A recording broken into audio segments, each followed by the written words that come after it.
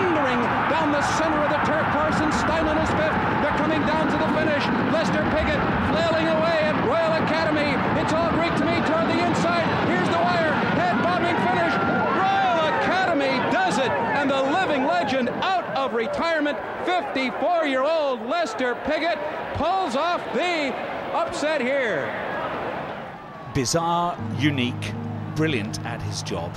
The words of 17 time classic winning rider Willie Carson describing his most complex, talented, challenged, and challenging rival, Lester Keith Piggott. Only recently released from prison, back riding only a couple of weeks and winning at the Breeders' Cup. Piggott's talents in the saddle and his weaknesses out of it would propel him from the back pages to the front with a metronomic ebb and flow.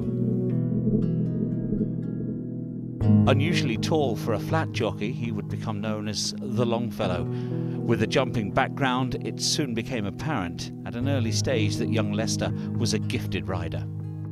Piggott the boy regarded school with disdain, cricket and football aside, and with him already demonstrating speech and hearing impediments, the call of the horses would always be his destiny. He was to have his first ride at just 12. He became champion apprentice just two years later, securing 52 winners in just his third season. The following year, with Piggott's Boy Wonder nickname now in common use, came the first of his Derby rides. He was to make the race his own with an extraordinary nine wins, the first of which came at the age of just 18 aboard the Joseph Lawson trained Never Say Die in 1954. This was the start of a key year for Lester, who linked up with the great trainer Sir Noel Murless, and in a four year golden period, they won the Derby with Crepello in 1957 and St Paddy in 1960. However, in 1966, Piggott shocked the racing world by announcing that he was now a freelance jockey. This move allowed an alliance to be formed with another legendary trainer, Vincent O'Brien. We put him in front this time, so you, you go back bit further on that same gallop. But these two will be working mostly behind you. Their partnership lasted well over a decade, including four Derby victories, and has gone down as one of the greatest racing unions of all time.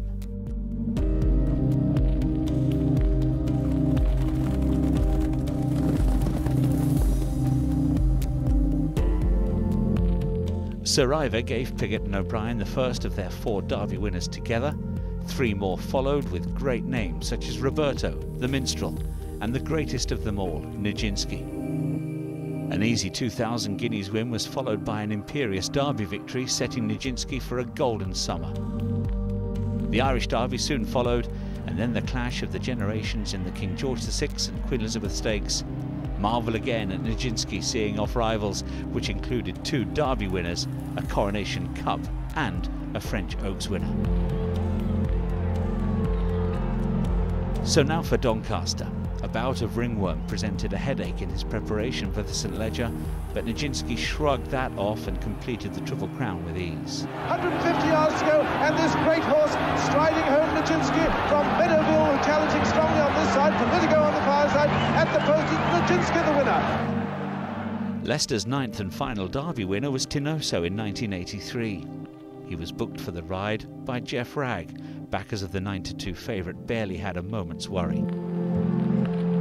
Piggott's well known single minded determination to always get on the right horse with little regard for what or who got in the way saw him secure the ride aboard the Luca Cumani trained Comanche Run in the 1984 St. Leger. A furlong to go, Comanche Run and Baynoun, Comanche Run and Baynoun, Comanche Run from Baynoun and Crazy, went inside the final furlong, and it's left a minute going on.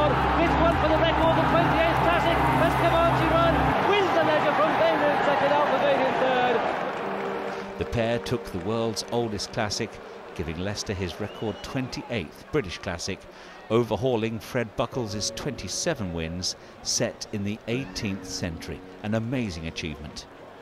In January 1985, Sir Peter O'Sullevan, the great commentator, journalist, and friend of Lester for many years, broke the story in the Daily Express newspaper. This was to be Piggott's final year in the saddle. However, he was soon to feel the full weight of Her Majesty's Revenue and Customs, who had spent many months building a case against Piggott.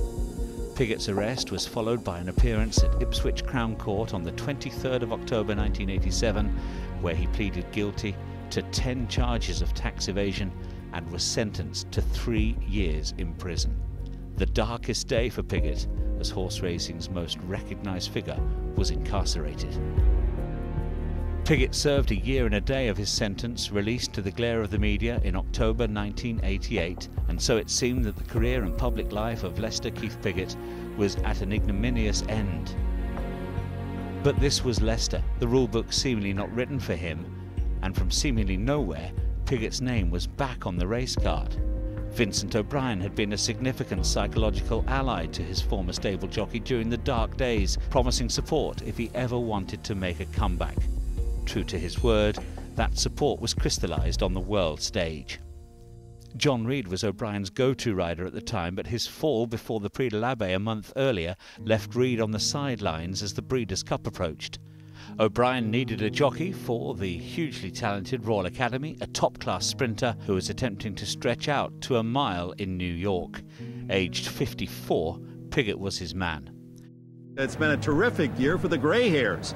Uh, Nolan Ryan at 43 continues to overpower with his strikeout speed, and George Foreman continues to box after 40 and box pretty well. Hale Irwin, how about him in the U.S. Open? And comebacks too by Joe Ferguson in the NFL and Guy Lafleur in hockey.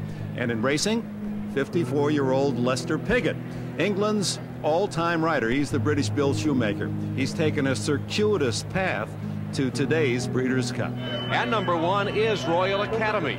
Royal Academy is American bred but European raced, a three-year-old who gives the great Lester Piggott his second Breeders' Cup mount. This colt has raced mostly in sprints, as far as a mile only once in his career.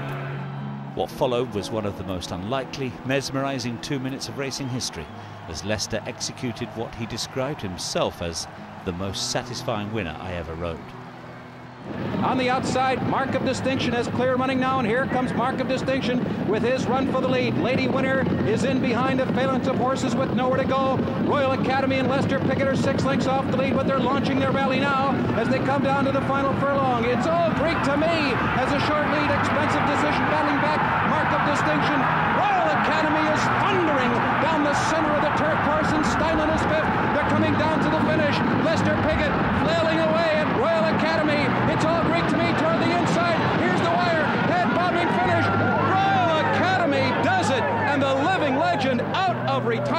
retirement, 54-year-old Lester Piggott pulls off the upset here. English champion jockey Lester Piggott, 11 times a champion.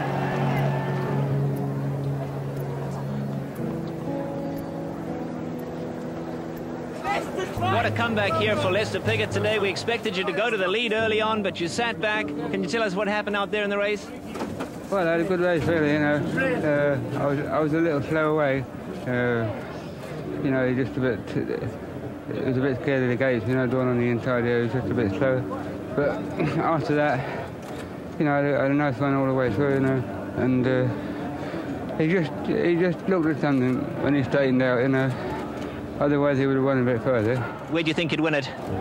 Well, not until not until the furlong from happened, you know. But he just hesitated when we straightened out, you know. That's an old one. He just ducked in a bit to the left, but, uh, you know, he won comfortably, really.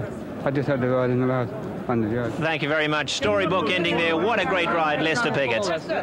For pure drama, that win at Belmont Park surely topped the lot, but Piggott wasn't finished there.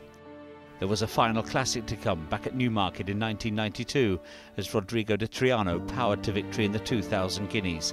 This was his 30th and final British Classic.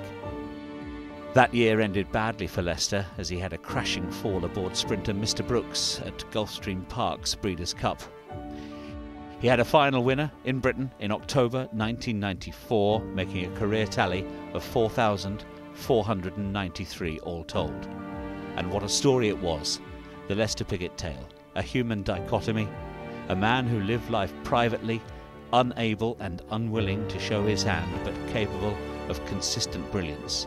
Adored by the racing public, a thorn in the side of authority. Present day riders still chase and cherish the annual awards named after him. Willie Carson was right bizarre, unique, brilliant. Lester Piggott, a legendary figure in the sport of horse racing, then, now, and forever.